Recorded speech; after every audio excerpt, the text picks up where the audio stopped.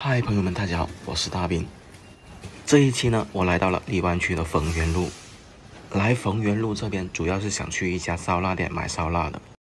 这家烧腊店呢，是一九八零年创立的，那么至今已经有四十二年的历史了，是一间真正的老字号。在荔湾区也家喻户晓了。广州虽然说已经恢复堂食，但是在疫情方面，大家还是不能掉以轻心。这一次我特意提早了过来，大概上午十一点左右吧。但是来到这里的时候呢，也看到好几个人在排队了。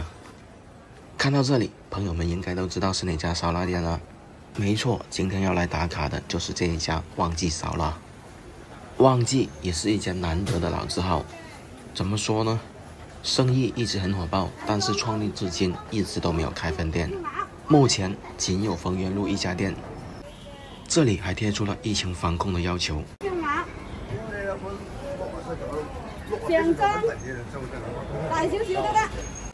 来呢度买烧鸭，上装或者下装，大份或者细份都可以自己选择。广东人就特别喜欢吃烧腊的，特别在广州，隔三差五的就会买烧腊来吃。要两百整日，两百我等于啊两只散，两只散，今日要买个下装鸭。这边的阿姨服务态度非常的好，唔止得附近有啲老做烧腊店，个服务态度全到爆，好似人哋争咗佢咩咁。黄记除咗烧鹅，另外烧鸭、叉烧同埋卤水出品都唔错。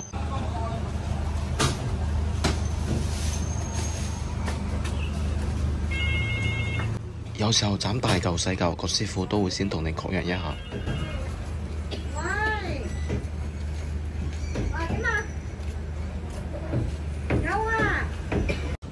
聽佢阿姨講嘢係咪好得意咧？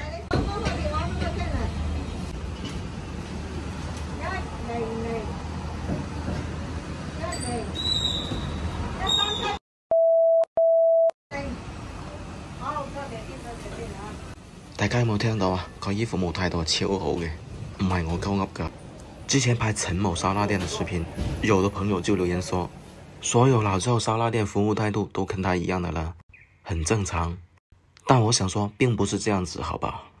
他不能代表广州烧腊，他只能代表他自己。甚至有的朋友说，人家又不缺我一个客人。那我想说的是，广州缺他一家烧腊店吗？享受美食也得看心情。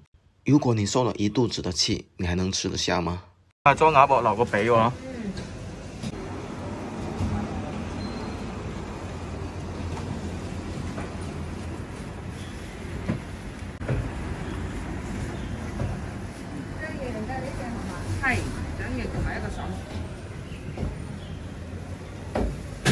总共十条啊，三四五六七八九十，十条，九行吗？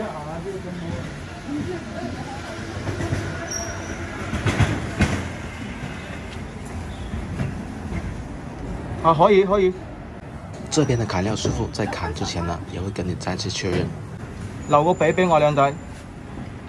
而且你们能看到，砍料师傅也是戴了手套。所以在砍料方面呢，做的挺卫生的。老板，想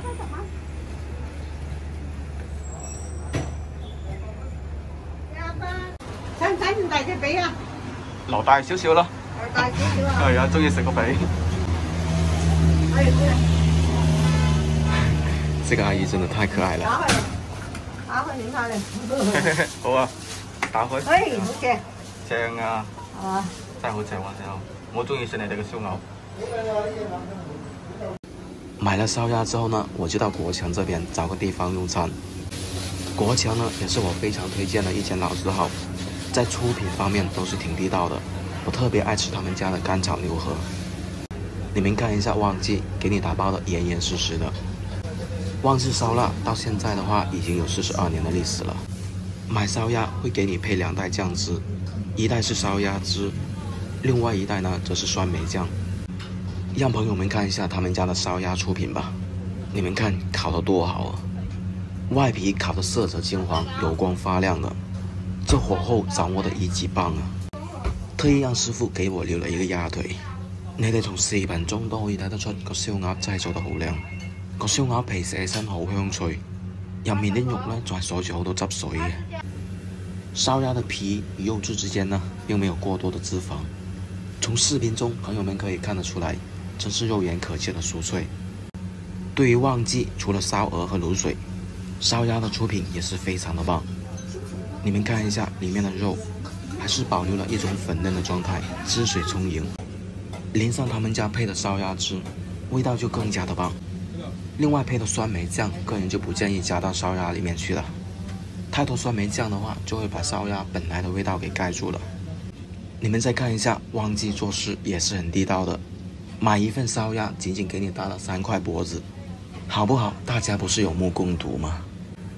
广州恢复堂食的第一天，买了旺记的烧鸭，加上国强的干炒牛河，再配上一瓶冰镇的可乐，又是满足的一天。我是大兵，视频就分享到这里。